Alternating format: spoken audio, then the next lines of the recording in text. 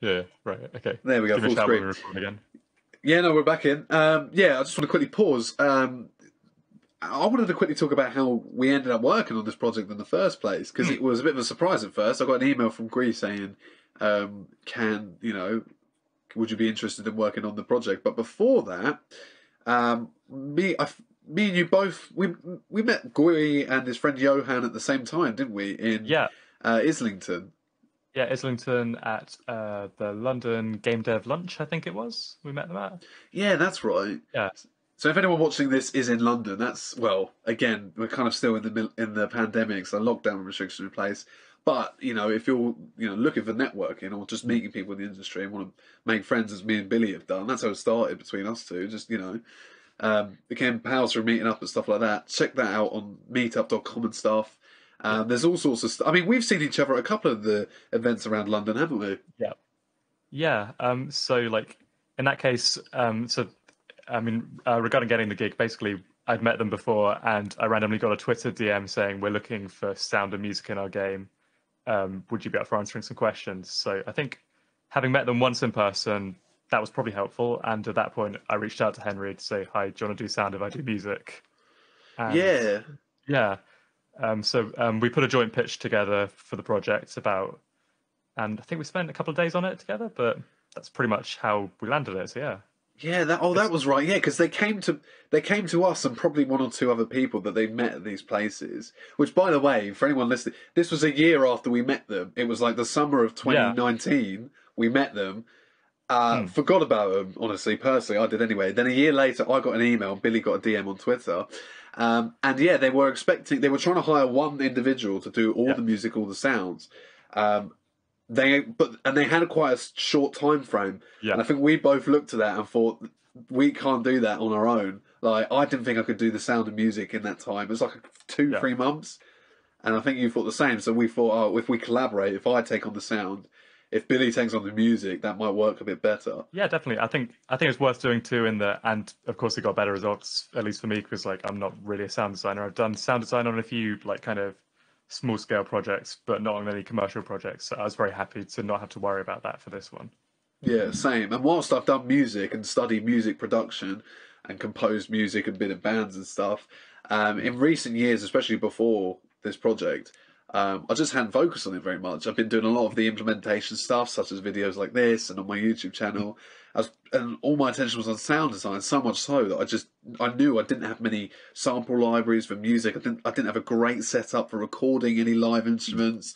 I didn't have access to other uh, musicians like Billy did. So I knew that was going to be a struggle for me. But the sound design I'd be a lot more stronger on, and the fact that they were using. So they had chosen already beforehand, by the way, to use Unity, obviously, to build the game. But they were also happy to use Fmod as well. Um, one thing I remember them telling me was that um, they'd seen some of my YouTube tutorials online. Yeah. Um, in that year gap, so after we met them, they they were as they were building the game and needed to learn a bit about Fmod. They'd seen some of my YouTube videos, um, and then put the put two and two together, seen the little business card I left them, and seen the videos and gone, oh, that was that guy we met.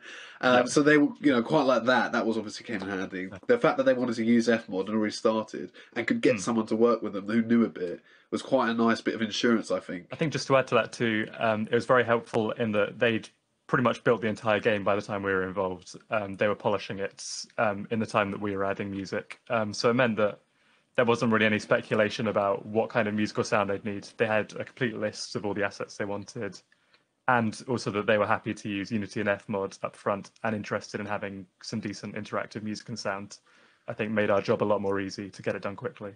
Yeah, definitely. So there's a lot Hmm. for us to sort of pull away creatively, I suppose, from the Yeah. what we'd seen visually. When they when you saw when you were first speaking to them, Billy, and you saw the game. Well, even after once you'd started working on them, did you feel? And you know, this is going to vary from project to project, but did Hmm. you feel like you had a lot of creative control over the music, or you found a balance between that? Because obviously, at the end of the day, Yeah. this is another thing I learned. It's their vision, not Yeah. ours. Yeah. Did you find like you had a lot of creative freedom? Did you were you happy with it, or were you happy to just keep reiterating until you had something that they were happy with. Yeah, I think this was I think this was 50-50. So they had lots of references for each track in the um, kind of I think their idea from the start was very much kind of like we'd like this track to have a, this level to have a flavor of this genre, this level to have a flavor of this genre.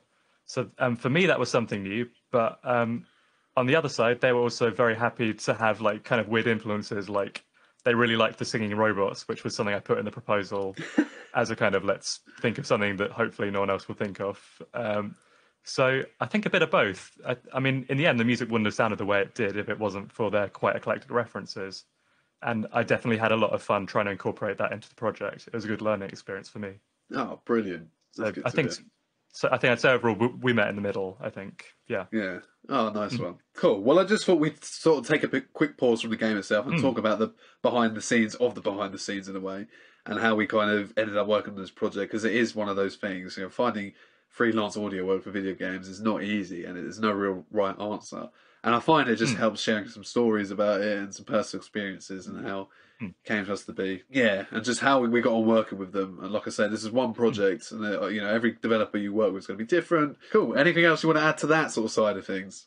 No, I think that's everything. Um, yeah, that's everything I think of there. Cool. Then we'll jump back into the game. We've covered a lot. I think we'll do one or two more levels if that's all right with you, Billy. Yeah, that's fine with me.